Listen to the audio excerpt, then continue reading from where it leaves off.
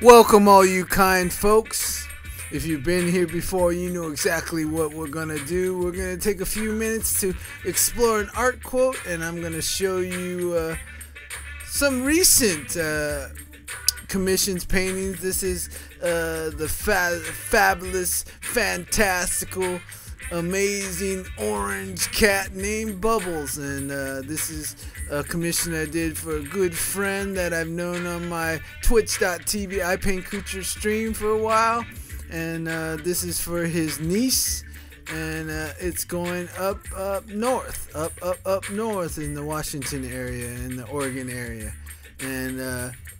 she just adores this cat named Bubbles. So um, he commissioned me to do uh, my version of um, the Bubbles the cat with the with the birthday hat for a birthday celebration. And so I'm going to talk about this uh, quote by Leon Trotsky. And art is not a mirror to hold up the society, but a hammer which to shape it. And I thought that was a perfect quote for this uh, illustration because the more I do a lot of commission work, I've been doing it most of my life, but uh, it's really focused now, and I've got it to a level where people really want to see my art more than just doing a landscape or a portrait and you know, uh, doing that graphic, graphic-y design type work where you're just trying to please what they want and uh, it really comes down to uh, I see uh, even when I do this for a teenage uh, girl who loves this cat, um, she's also creating a painter too. So more than a mirror of showing uh, something that's important in her life and that she has passion for and a lot of love for this cat. Yeah, I'm definitely giving her hammer which she can shape her reality with, right? Because uh, you know this made her very very happy and made uh, the gentleman my friend who commissioned me very happy too. And i know they're out there watching this video right now and so how it becomes a, a hammer which you can use is uh, basically i gave you an example of you know the type of stuff and way you can spend your time doing something creative that you know means something a lot to someone else in their life and create a piece of art that is one of a kind in the world. And i think that's a, a hammer to help shaping the future of uh,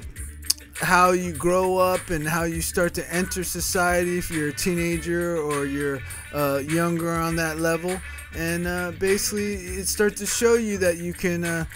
you know, do something creative for someone and do something original and take the time and, and still uh, make a living and make a difference in people's life because um, I know she was real excited to get this and hang it up. And, and it's just a reminder of not only the, the incredible cat bubbles but the, the ability that you have to create in your life. And and so yeah art can be a mirror that you hold up society and they could maybe see stuff but uh, I think on the surface you need to make it lots of fun and entertaining, and more and more it's a model, and that's where it becomes a tool, an instrument you can give someone else, so they can hammer into shape whatever um, their reality is, and, and give them the strength to do it. And I also do it by showing them how much fun I have, and the looseness of my paintings, and and the joy of um, representing this cat, but also expressing it the way I see the cat more than it has to be exact like the cat because we have so many cell phones and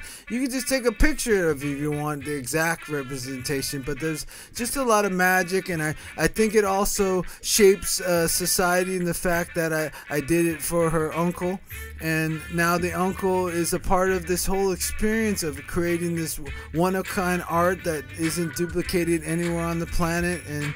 and brings a lot of meaning in and that's where I believe art is a hammer to shape society and shape life with because if you kind of take away a lot of the art especially in my life in the beginning a lot of music and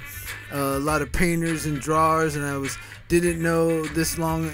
this uh, part of my life I'd be all inspired by you know the, the works of Dr. Seuss and Maurice Sendak and Shel Silverstein and Charles Schulz and the heavy work of uh, Joseph Campbell and Akira Kurosawa making films and you know driven by just that instinct to like oh I'm going to do that but it also adds up to definitely um, you know coming into other people's lives because uh, this was you know my